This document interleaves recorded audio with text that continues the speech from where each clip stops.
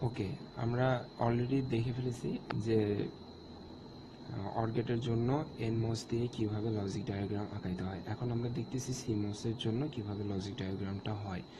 তো, এন সিমোসের জন্য অবশ্যই এন টাইপ এবং পি টাইপ দুই টাইপই থাকবে। সেহেতু আমাদেরকে এটা ভিডিটি আমরা প্রথমেই নিয়ে নিলাম গ্রাউন্ড নিয়ে নিলাম। হ্যাঁ। এখন আমাদের যে সূত্রটা এটা দেখি যে আমাদের অর গেটের জন্য পি মস অবশ্যই উপরে দিতে হবে পি নট মস কারণ কিসের জন্য? এটা আবারও বলতেছি যে পুল অফ পুল আপ এবং পুল ডাউন খুবই ইম্পর্টেন্ট একটা বিষয় সার্কিটের জন্য। প্র্যাকটিক্যালি সার্কিট তাছাড়া রান হয় না। আচ্ছা পুল আপের জন্য আমরা সাধারণত ইউজ করে থাকি পি নট টাইপের ট্রানজিস্টর বা মস তো যাই হোক আমাদের পি টাইপের জন্য অর গেটে আমাদের সিরিজ আকারে থাকবে। সিরিজ আকারে থাকবে তার মানে আমাদের P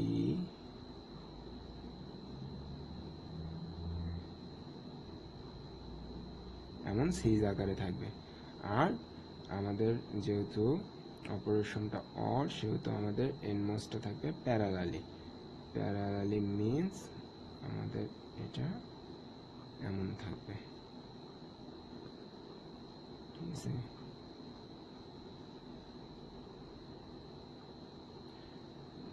A B A B মানে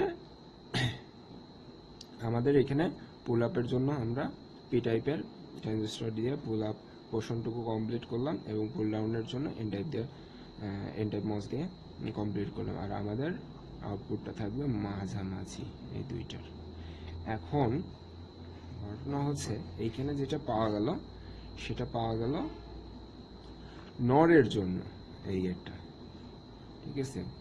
কেন নরের জন্য পাওয়া গেল? সেটা তো ওই আগের মতনই, যেহেতু আমরা এখানে নট টাইপের পিমস ইউজ করছি সেজন্য আমাদের আউটপুট সবসময় ইনভার্সে আসবে।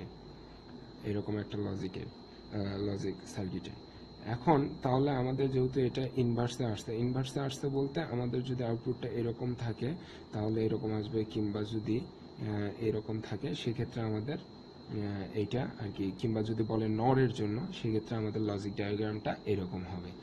এখন আমরা চাচ্ছি হচ্ছে কি অর তো অরের জন্য আমাদের কি করতে হবে? এইখানে যে আউটপুটটা আসলো নর সার্কিটে সেটার সাথে জাস্ট একটা ইনভার্টার লাগাই দিলে পরেই আমরা একটা অর গেট পাচ্ছি।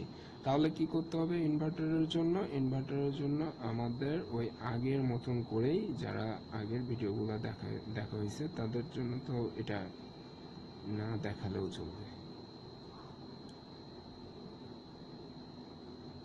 এইখানে আমাদের একইভাবে পি টাইপ দিতে হবে এবং এখানে একটা এন টাইপ দিতে হবে এবং এটার মাঝামাঝি যে আউটপুটটা আসবে সেটা হবে OR that means A plus B A B এর অর অপারেশনের আউটপুট ইটস খুবই ইজি আছে এখন এটার জন্য স্টিক ডায়াগ্রাম আঁকাইতে হবে। স্টিক ডায়াগ্রামটা কীভাবে আঁকাইতে হবে? স্টিক ডায়াগ্রামটা জাস্ট আমরা ভিডিটি এর জন্য একটা মেটাল লাইন নেব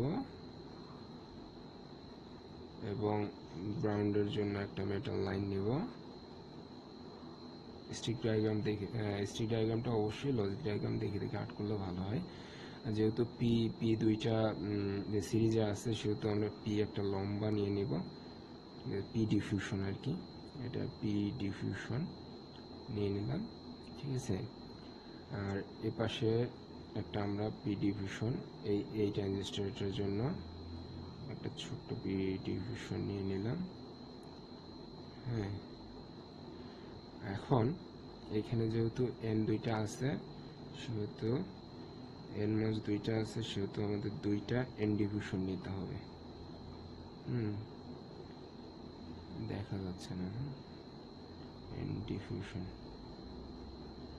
দুইটা এন নিয়ে নিলাম।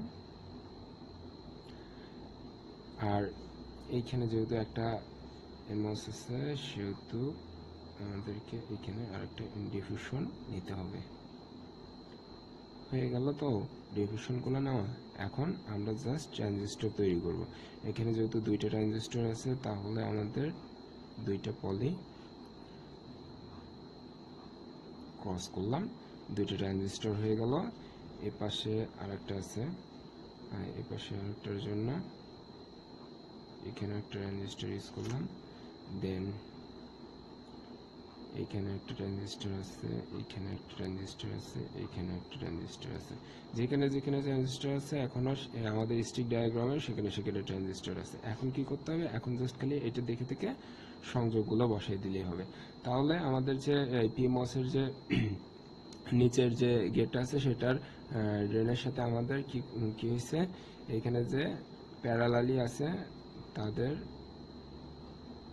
সোর্সের সাথে কানেক্টেড হয়েছে আমরা এটা মেটাল লাইন দিয়ে কানেক্টেড করে দিলাম। তারপরে এখানে যে আউটপুটটা পাওয়া গেছে, সে আউটপুটটা আমাদের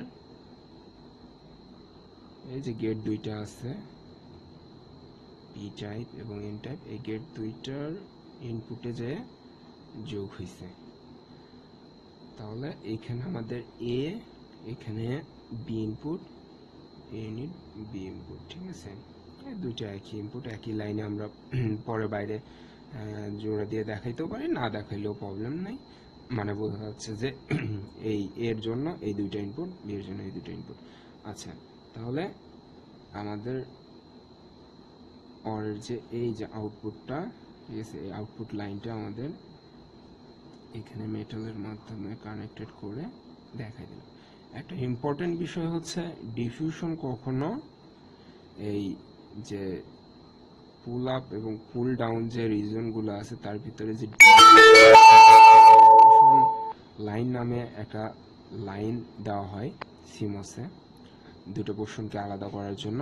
সে ডিমার্কেশন লাইন কখনোই ক্রস করবে না, কোনো ডিফিউশন পলি ক্রস করতে পারে মেটাল ক্রস করতে পারে।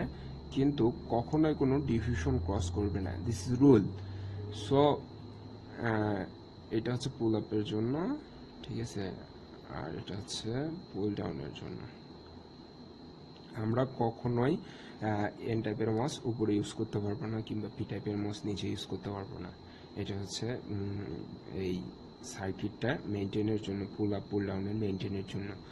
সো এটাই আর কি stick diagram of OR operation OR gate using CMOS stick diagram